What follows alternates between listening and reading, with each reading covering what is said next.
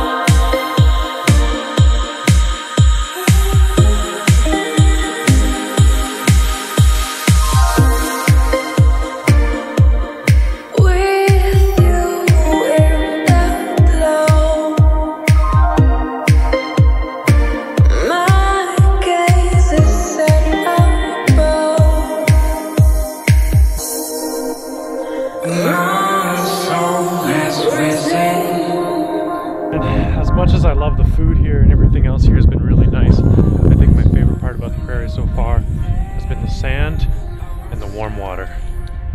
Really, really nice. There's some good swimming. Champ loves it.